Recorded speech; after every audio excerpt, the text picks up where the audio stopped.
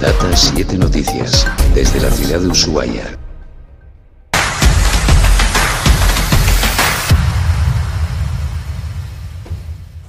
Incendio de gran magnitud en el Hospital Regional de Ushuaia en horas de la tarde. Informan que el mismo está bajo control.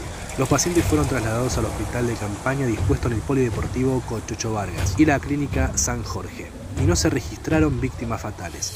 Todas las fuerzas vivas de la comunidad en coordinación con el Ministerio de Gobierno, Justicia y Derechos Humanos de la provincia se encuentran trabajando en el lugar para determinar el estado de situación.